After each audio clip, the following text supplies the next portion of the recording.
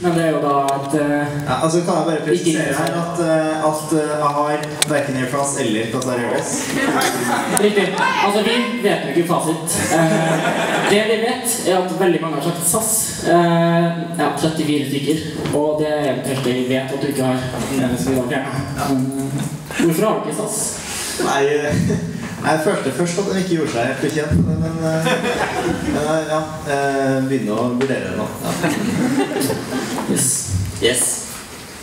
Og det har jo demonstrert at Steinar er en reiseglad type, men det er han ikke helt alene om.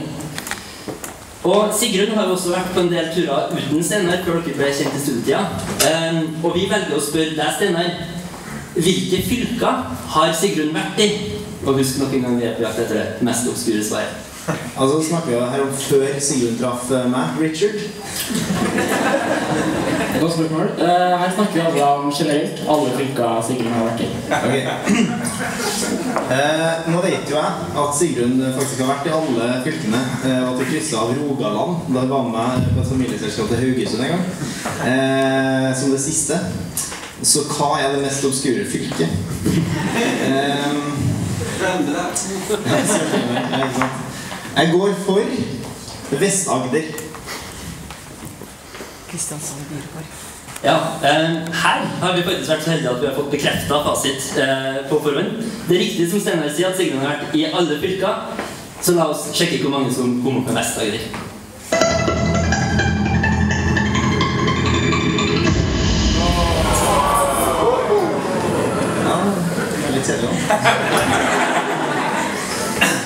Et, eh, et eh, fylke som kom relativt ofte der, altså. Richard, eh, hva har du å si om svaret? Skal vi se da at eh, det er faktisk flere som har fått med seg at Sigrun har vært i Sør-Trøndelag enn Oslo. Så kan også se på hva som ville gitt deg minst poeng eh, her. Det er da altså eh, Finnmark. Finnmark, ja. Som vi ville Ja, gitt deg. Vanskelig spørsmål å få pointless på. Veldig bra jobba fra vår side. Og det hører med til historien at uh, de flyselskap-T-skjortene uh, de samler seg jo ikke sjøl så lenge du driver og flyr innenriks. Eh, så Steinar har jo en sjelden gang tatt turen utafor Norge også. Og vi lurer på, Sigrun, hvilke hovedsteder i Europa har, Sigrun, har Steinar besøkt? Og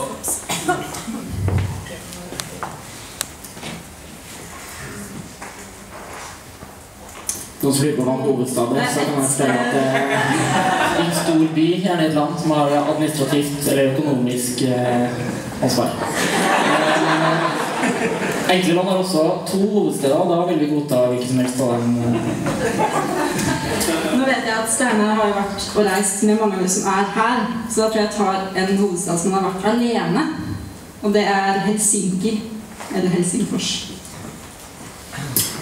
Steinar, det her har vi selvfølgelig ikke fasit på, eh, så vær så snill å være ærlig. Og Jeg har ikke bekreftet at jeg har vært alene i Helsingfors, ja. Riktig. Eh, Ikke på noe sånn der altså, Det er ikke noen spesiell grunn til at jeg var Det var ikke noe, noe Riga-tur. Så vi har et riktig svar nok en gang. Richard, hvor mange har kommet på det her?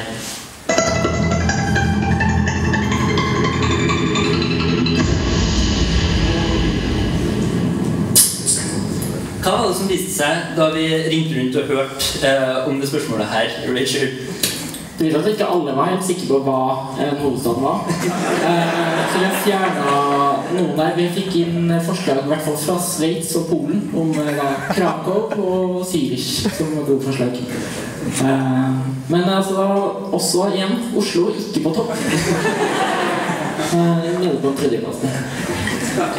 Eh, her eh, Nå er vi jo igjen ikke sikre på fasit, så hvis noe av det her er riktig Altså, Vatikanstaten er jo riktig, men jeg har ikke vært i noen av de andre.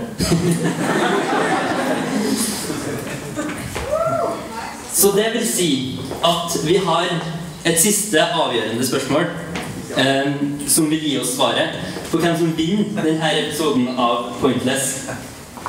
Eh, Og Steinar og Sigrun, dere har jo bare kjent hverandre eh, siden dere begynte på høyere utdanning. Eh, så her har vi et spørsmål som dreier seg om lavere utdanning. Hvilke valgfag tok Sigrun på ungdomsskole og videregående skole? Og hvordan har vi definert det, Richard? Ja, her har vi da valgt å gjøre det litt enkelt. Eh, sånn at hvis f.eks. Sigrun har tatt faget rollespill 1 etterfulgt av rollespill 2, så vil det godt være rollespill. Eh, og du trenger ikke å svare blant de obligatoriske fagene som norsk osv. som alle har vært er ikke. Rollespill vanlig å slå som valgfag. Det er ganske vanlig, faktisk. Eh, Så bør ikke gå for det, da. Vi kan ta en statistikk på det senere i kveld. Uh, ja, det her eh, er jo vanskelig, da.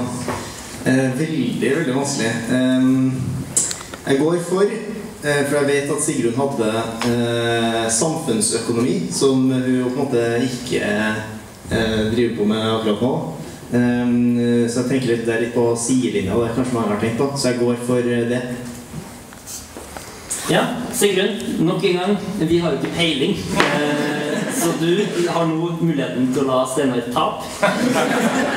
Eller eh, du kan gi oss et ærlig svar på Har du tatt samfunnsøkonomi?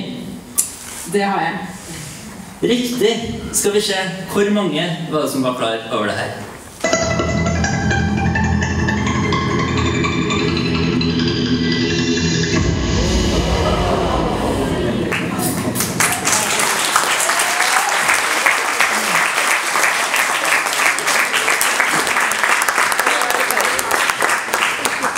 Urutinert som jeg er som programleder, så har jeg ikke lenger kontroll på hvor mange poeng eh, hver deltaker fikk.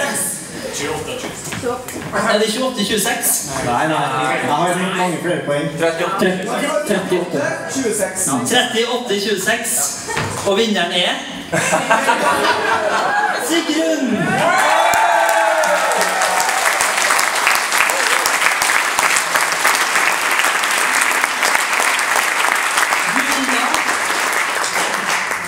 Heder, ære, eh, livsvarig samvær med din motspiller og vår generelle applaus.